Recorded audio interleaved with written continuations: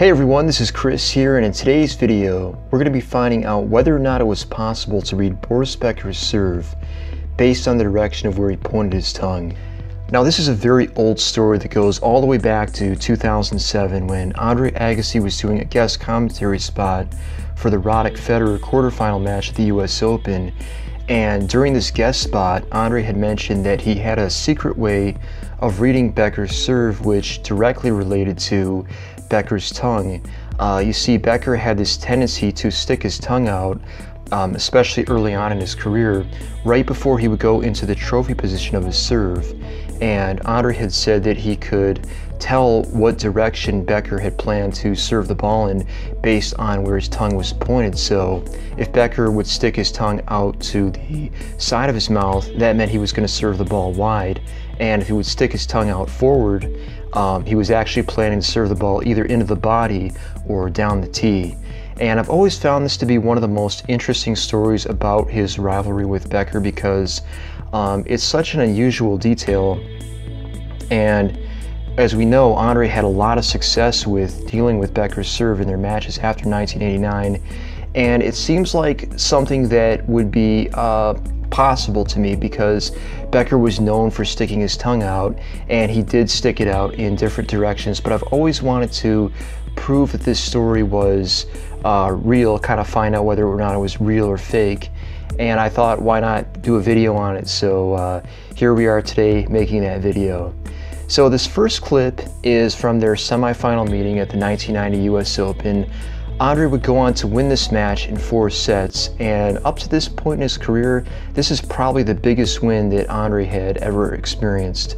Um, let's go ahead and watch the first point here as Becker is getting ready to serve, and we're going to notice that Becker is going to point his tongue here to the corner of his mouth. So, according to what Andre had told us, that means that his serve should be going wide.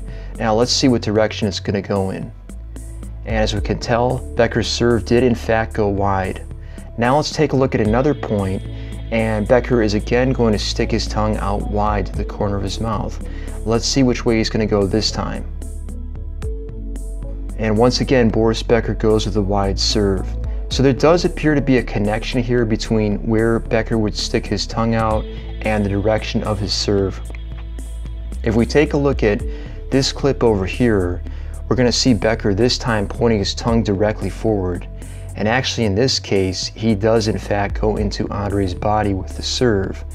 So I think if we re-examine this, we can prove beyond any shadow of a doubt that there is merit to what Andre was saying here and that Becker did in fact give away the direction of his serve based on where he was pointing his tongue. It was a very interesting tic that he had uh, more towards the beginning of his career Andre actually mentioned that there was a period of time where Becker stopped doing this, and Andre would describe this as being a moment of sheer terror because now he was forced to deal with one of the greatest serves, at least up to this point in the game, and he had no tell for it. Uh, if we go back and look at Agassi's quarterfinal encounter with Becker at the 1992 Wimbledon Championships, we can see right away here that Becker is no longer pointing his tongue and the tell is not in effect here. Uh, one interesting thing to mention with this match is that Andre would go on to win it. Uh, it would be his first and only win against Becker on grass, but it would take him five sets to do it. And now if we fast forward a few years later, we're going to see their second meeting at Wimbledon, and once again, Becker is not using tell here. He did use it for the earlier parts of the match, but I did notice as the match went on, um, he was no longer pointing his tongue, which might have possibly affected the outcome of the match. Maybe this is part of the reason why Andre would go on to lose this match against Becker. And then if we skip ahead here to the 95 US Open semifinal, we can see yet again that Becker is no longer using the tell. So this leads me to believe that maybe things might have worked out a bit differently for Becker if he hadn't had that tell uh, towards the beginning of his career. But at least now we know for a fact this tell did exist. Thank you so much for watching guys. I will see you at the next one.